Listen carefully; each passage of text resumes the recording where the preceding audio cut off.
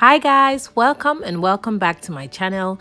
In today's video, I'm going to be showing you how to make this casual shorts that I'm wearing and it's basically pretty easy. I made mine out of Ankara which is my preferred fabric. However, you can use any fabric of your choice like crepe or any other fabric that you decide to use. So it promises to be another detailed and fun tutorial and I hope you enjoyed the tutorial. If you haven't subscribed, don't forget to hit the subscribe and the like button because I'm sure you're going to enjoy the video and also don't forget to leave your comments, suggestions, and feedback in the comment section below. You also want to take note of the notes being shown on the screen right about now, the measurements you need, as well as how to take certain measurements.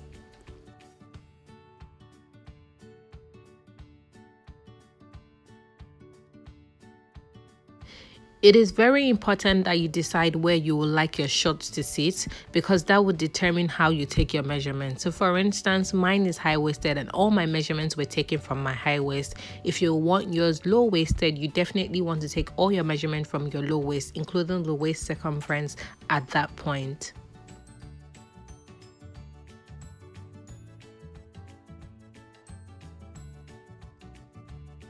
To make your shorts, you need the following items. You need a ruler and I've got my long steel rule here. You'd also need a set square and a protractor. However, I've got my pattern master and if you guys would like to shop it, check out the links that I have in the description bar. You would also need your fabric, scissors, and I've got my favorite pair right here. You need your pencil. However, for the purpose of this video, I'll be using my marker. You'd also need your measuring tape. You need some pins you would also need a zipper. However i've got two zippers here and whether you want your shorts to be high-waisted or you know low-waisted you could use either of them. They're just different in length. And of course you need your tailor's chalk. I've got this miserable piece of tailor's chalk right here I've got my fabric as well and I'm using one yard of Ankara and that's because of my size and my short length. If you're bigger, you might need a little bit more and if you're smaller, one yard might just work for you. And of course, you need your pattern paper lastly.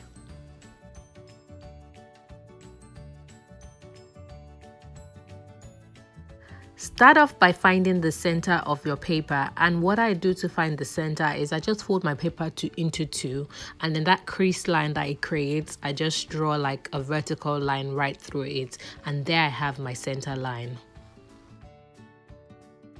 Then go ahead and draw a horizontal top line. Your top line is only about 1 inch wide.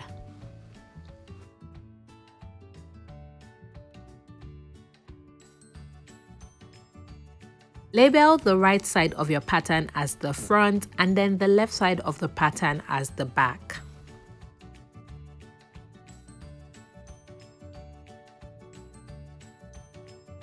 Place the measuring tape vertically on the center line, starting at the point where the top line meets the center line. Then go ahead and mark out the waist to hip measurement. The formula to find the waist to hip measurement is the hip measurement divided by 4 minus 1 inch. So for example, if your hip measurement is 40 inches, your waist to hip measurement will be 40 divided by 4 which is 10 minus 1 inch which will give you 9 inches. So the waist to hip measurement will be 9 inches. Alternatively, you can actually measure the waist to hip measurements while taking measurements on the body. But usually I forget to do that, so I just use this formula and it works well for me. You also want to mark out the crotch depth measurement, which is the vertical measurement from the waist to the crotch area, and you want to add an ease of about one quarter of an inch. The crotch depth is usually about two and a half inches below the waist to hip measurement. You also want to mark out the short length, and for me, I went with a short length of 17 inches. If you want yours longer or shorter, go ahead and use any length that works for you.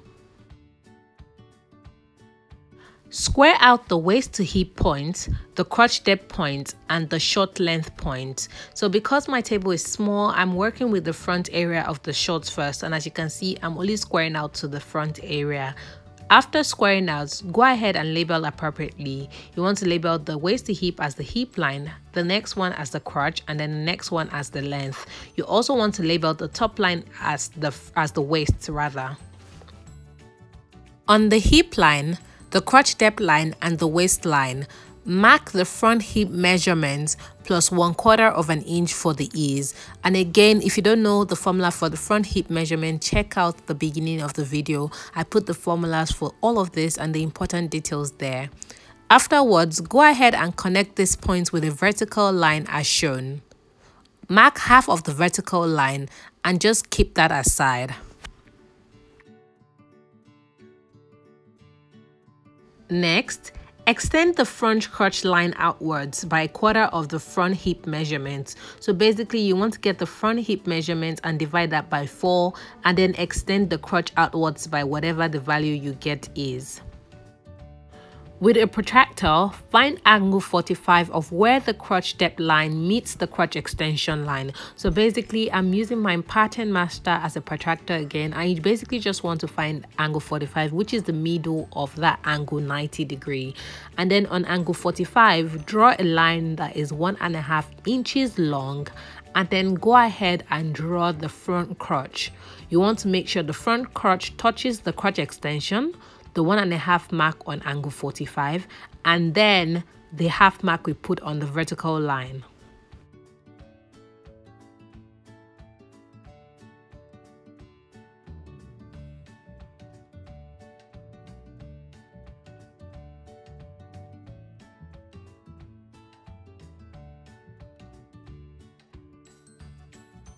On the short length line, Mark half the round thigh measurement minus half an inch. So for instance, if your round thigh is 27 inches, you want to go ahead and do 27 inches divided by 2, which will give you 13 and a half inches minus half an inch, which will give you 13 inches. So go ahead and mark 13 inches on that on the short length line and then connect that point to the crotch end as shown.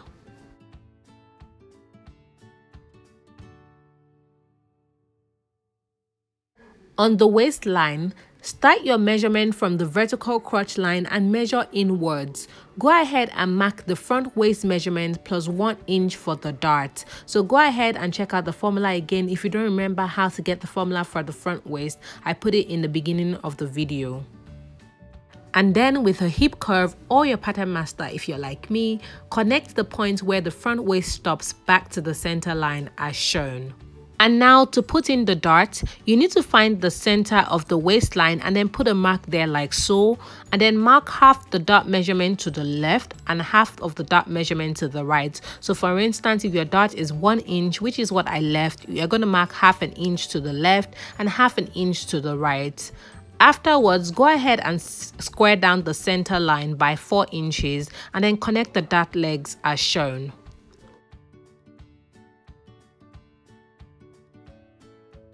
Lower the vertical front crotch line by a quarter of an inch and then connect this point back to the side seam point with a slant line as shown.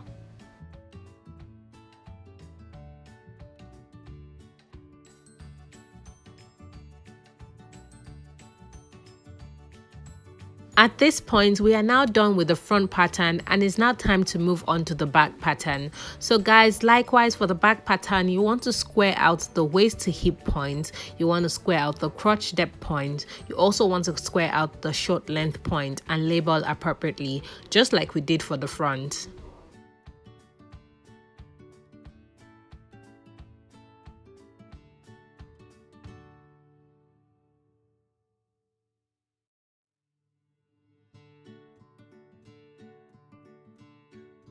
On the hip line, the crotch line, and the waistline, mark the back hip measurement plus one quarter of an inch for ease, and then connect this point with a vertical line as shown. Mark the center or half of the vertical line. We'll need this later when we want to draw the back crotch. Extend the back crotch line outwards by half the back hip measurements. So for instance, if the back hip measurements that you have is 11 inches, you're going to extend the back crotch line or the crotch line rather by five and a half inches outwards as shown.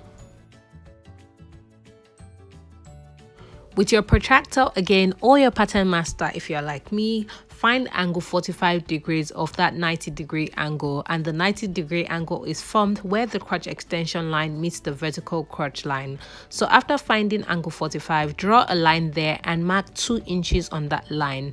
Go ahead and draw the back crotch, making sure it touches the crotch extension line, the 2 inches point, and then the center of the vertical line as shown.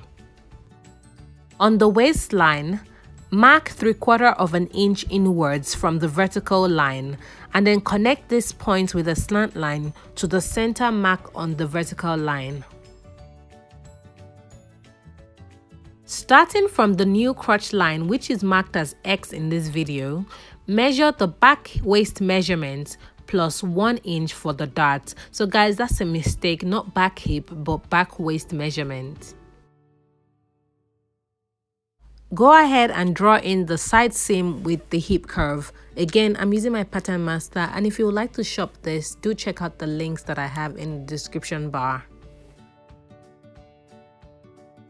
Next, mark the center of the back waist and square down by five and a half inches.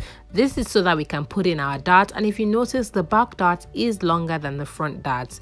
Afterwards, go ahead and put in half the dart measurement to the left which is half an inch and half the dart measurement to the right. So basically because the dart is one inch you put in half an inch to the left and half an inch to the right as shown. Connect the dart legs as shown.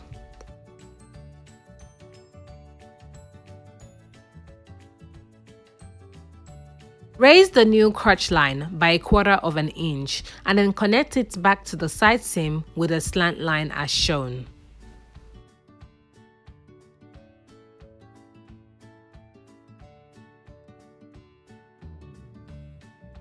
On the short length line, mark half the tie measurements plus half an inch. However, because I wanted mine a bit free, I ended up adding one and a half inches as opposed to half an inch. Afterwards, go ahead and connect the crotch extension to the point on the short length like I'm doing right now.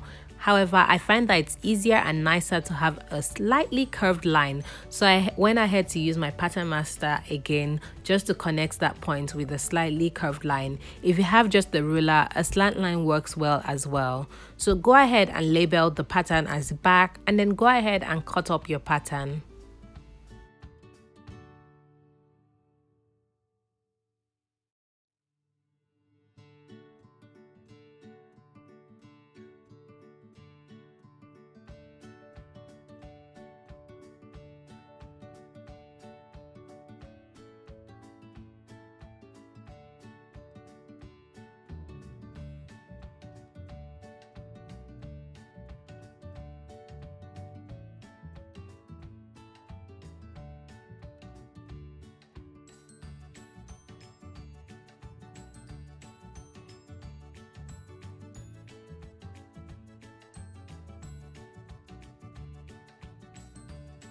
After cutting out the pattern pieces, it is now time to cut out your fabric. So go ahead and fold your fabric into two and because I'm being miserly with my fabric, I'm being careful so I don't, you know, fold it the wrong way. So I've gone ahead to check and it's going to be enough for me. So the first thing to do is to pin your back piece onto your fabric like so and then go ahead and mark out the allowances. You want to mark out an allowance of one inch at the side, one and a half inches at the hem, half an inch at the crotch, half an inch at the inseam, and half an inch at the top.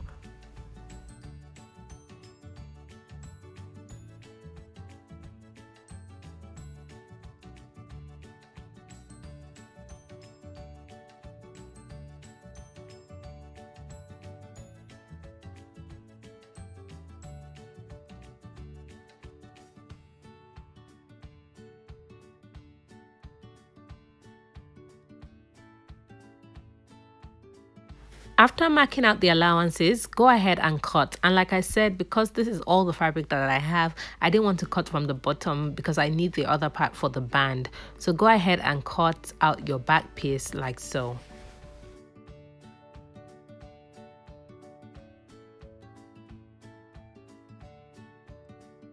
Put the back piece aside after cutting and then go ahead and pin the front pattern to the fabric and mark out the sewing allowances.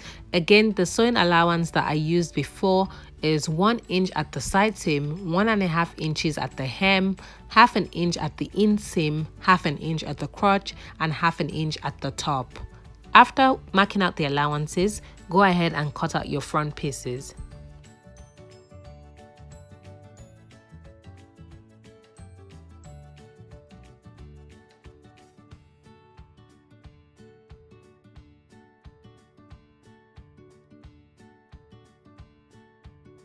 You need to keep your scrap pieces. Like I said, the one I removed from the bottom is what I'm going to be using for the band. And then you're going to need some of this one for the fly. So make sure you keep your scrap pieces.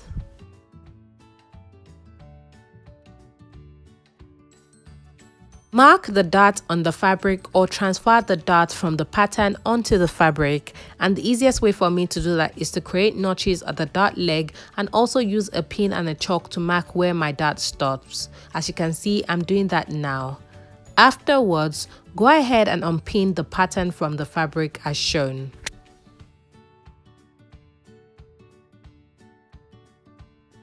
Pin the back crotch together and then go ahead and sew the back pieces together at the crotch on a half inch sewing allowance. So you basically want to sew from the top all the way to the bottom as shown. You also want to make sure that you sew the dart in place. After sewing the crotch and the dart, this is what the back piece looks like. So I'm going to put this aside and then we're going to repeat the same thing for the front, however with a slight variation. So for the front, go ahead and mark the front dart on the fabric as well and then go ahead and pin the crotch together.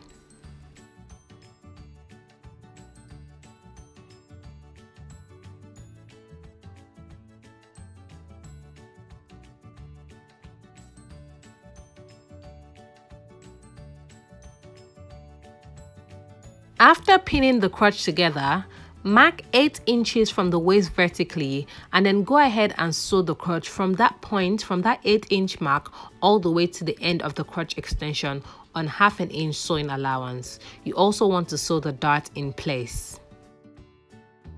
After sewing the front crotch, you should have an opening at the top and if it was sewn correctly, your opening should measure about 8 inches. Next, go ahead and cut out the fly. To cut out the fly, you need to measure a piece of fabric that is nine and a half inches long and two inches wide. Remember to make the end slightly curved as shown. So at the end of the day, after cutting out your fly piece, you should have something that looks like this. Again, please remember that all these measurements are because my trousers or my shorts rather are high waisted. If yours were like low waisted, your crotchlet depth will not be this long, and of course, your fly will definitely not be this long, as well as your zipper allowance will not be 8 inches long. So please take into consideration and then modify this based on your short measurement or your short feet.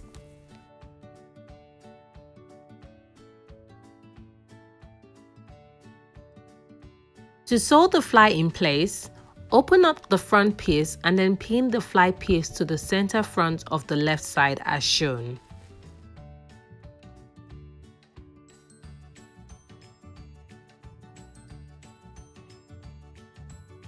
sew the fly to the center front on a half inch sewing allowance. So basically the front crotch is the center front and then the back crotch area is the center back, just in case you didn't know. After sewing, go ahead and top stitch the fly in place.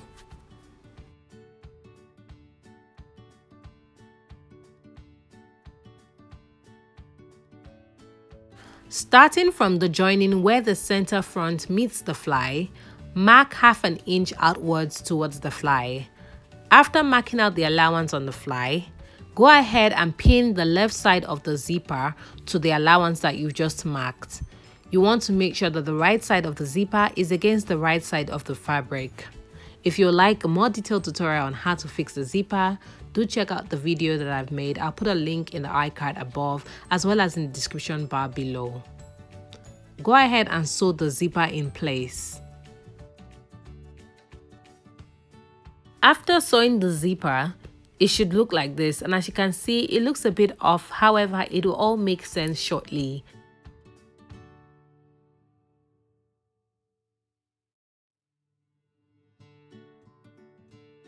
The next thing to do is to mark half an inch on the other center front piece. After marking out the allowance, go ahead and pin the zipper to it and then sew the zipper in place.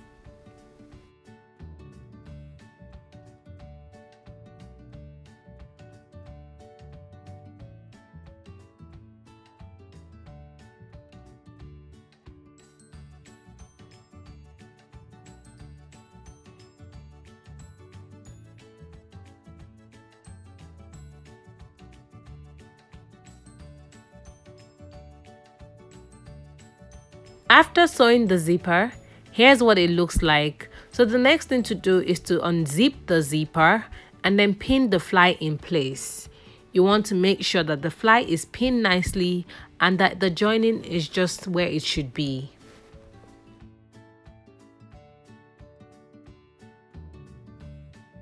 Mark one one quarter of an inch on the side with the fly and you want to mark this all the way till you get to the end and then draw a curve at the end. Go ahead and sew along these marks as shown.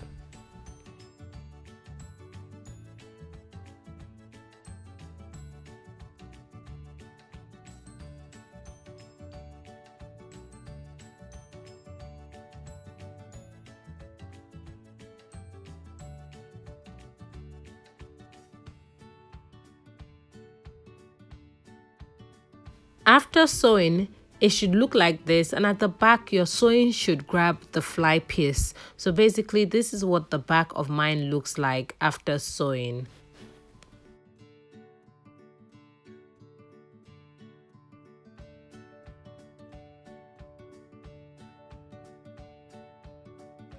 Place the back piece on the front piece so that the right sides are facing each other. Go ahead and pin the sides together and mark out the sewing allowance of 1 inch. Afterwards, go ahead and sew together. You want to make sure that you repeat this for the other side as well.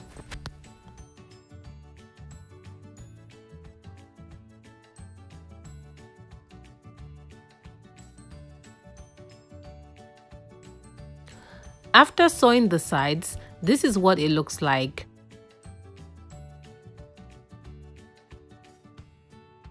Go ahead and place your shorts on the table so that you have the front crotch on one side and the back crotch on the other side. Then now it's time to hem the ends. So hem the ends by folding in half an inch and then one inch since you left an allowance of one and a half inches. So basically depending on what allowance you leave that will determine what you fold. But in this case we are folding in half an inch and then one inch.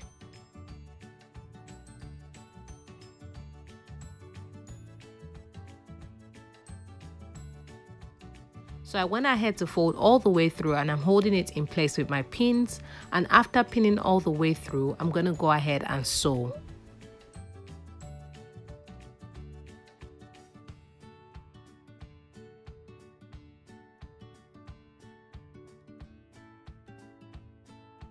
After hemming the ends, go ahead and pin the front crotch to the back crotch, making sure the center back and the center front lines match.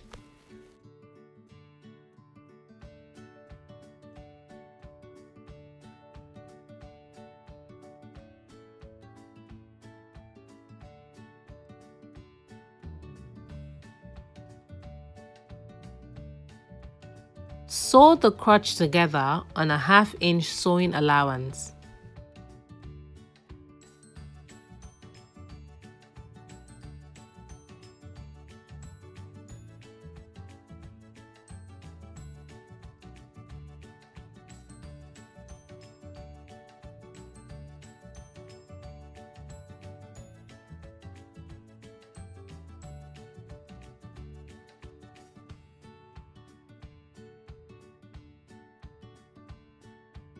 At this point, the shorts are almost ready and the next thing to do will be to cut out the band.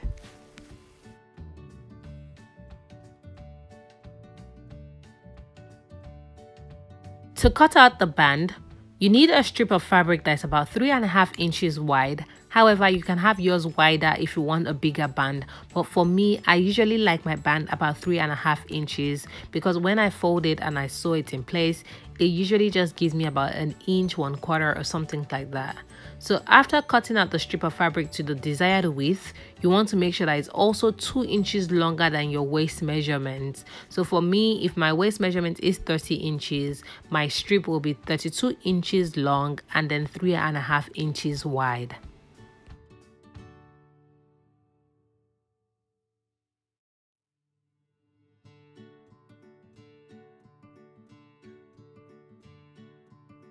Sew the ends of the strip closed by folding it into two so that the right sides are facing each other. You basically want to sew on half an inch sewing allowance at the two ends, which takes away one inch from the two inches extra already.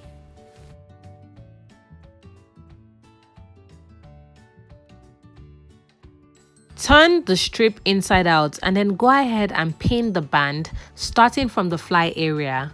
You basically want to pin the band to the short on the inside and like I said you want to start from the side with the fly.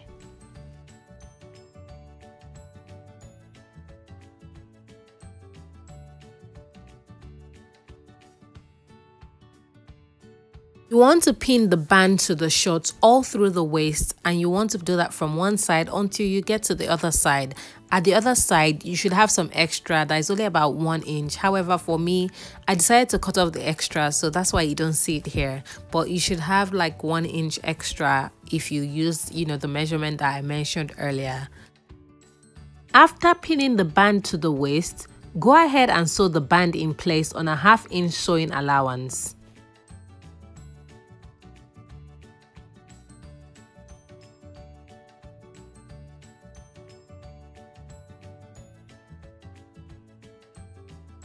Top stitch the band close by folding it over to the right side as shown.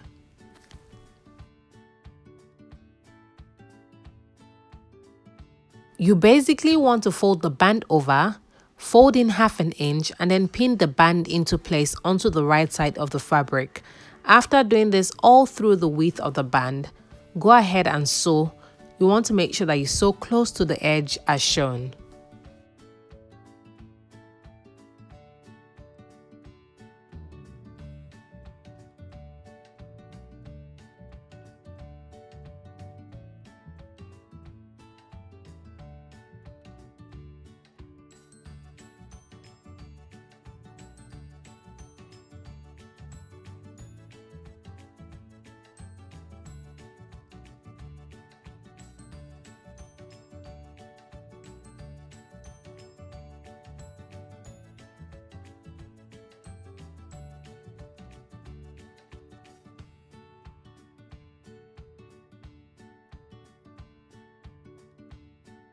After sewing the band close, this is what your shorts should look like and at this point the shorts are now finished. So go ahead and fix the eye onto the band and your shorts is now ready to be worn. I like these ones because they can be worn with heels, trainers, sleepers, anything and they work really nicely. Alright guys, so we've come to the very end of this tutorial. I hope you enjoyed it and I hope it was worth your while. If you enjoyed this video, please don't forget to give this video a thumbs up. Don't forget to share. Don't forget to leave your comments, suggestions and feedback in the comment section below. Thank you so much for watching guys and I'll see you in my next video. Bye!